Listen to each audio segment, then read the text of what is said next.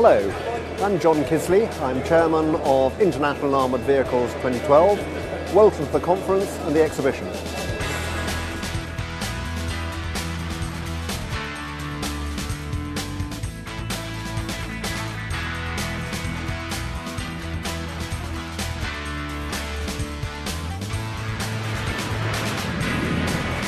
the opportunity for industry to come together, uh, meet ministers, meet those who are export markets who actually want to buy the equipment they've got on offer, to discuss new and innovative solutions to ch- common challenges is absolutely crucial. There are lots of conferences around, but there is not another one on this sort of scale that is specifically focused on armoured vehicles. So it fills a useful niche. This year's uh, conference and exhibition are both bigger and better than ever before.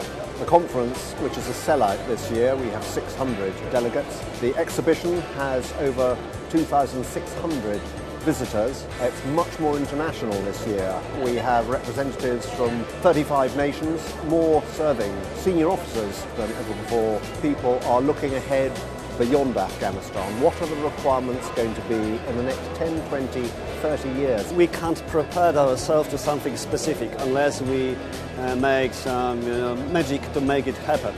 So what we can do really is prepare mentally and is often present here within the speeches, within the discussions to be adaptable. We're looking for ideas from every source to challenge ourselves. Do we get our requirements right? Do we have our vehicle right? So I think this, this kind of exchange of ideas is critical for the future. وأنا أشكر إدارة المعرض وإدارة المؤتمر بحضوري هذا دعوتي للحضور نعم An innovation this year itself was our group of six top industrialists, what we call the G6 panel, who were looking at strategic questions. So you've got the conference side, you're attracting an international audience, a good level in terms of uh, decision makers, industry. Associating the exhibition alongside uh, certainly gives us the opportunity to access and, uh, and exchange with a lot of people. Well, that is what actually draws the right people. If it would just be a pure exhibition, you wouldn't get the key people, the key personnel here in the quality numbers which they are here. It's bringing the two together, the conference and the exhibition, which makes IAV something pretty special. I was told by Defence IQ before I came here today that I meet many innovative SMEs, and that was absolutely right. I have done that. There's some really fantastic businesses doing almost literally incredible things. Uh, I've seen a couple of interesting things. For instance, that simple mirror system. You can't, uh, you know, crack it, and that was a new solution for me. Well, it's a real opportunity for us to show it to a wider audience. We can not only talk about the vehicle, but show the vehicle. It was very important for them to present this vehicle in London, and we don't want to wait in France to say, hello guys, we're just waiting for your orders. It's a very unique and, and uh, international place. We had a very busy day. We've seen lots of international people that we didn't expect to see. Lots of interest. We've had Indian delegation on board, Singapore's have been here, Canadians have been here.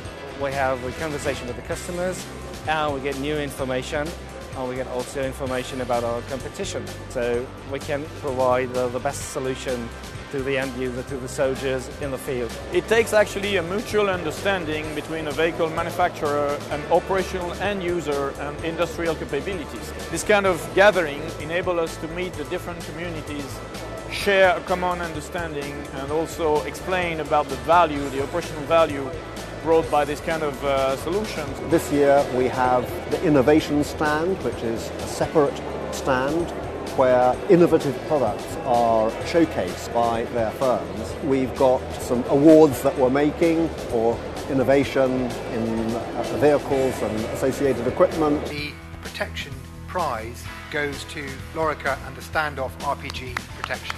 Really, anybody who's anybody in the armoured vehicles world is here at this. There's a tremendous meeting of minds. People are picking up new products, picking up innovation. We meet the right people. Uh, we are talking with the project managers, technical guys. We have such a high number of good quality contacts. We have the technical staff of MODs here. We have uh, design engineers of vehicle platforms.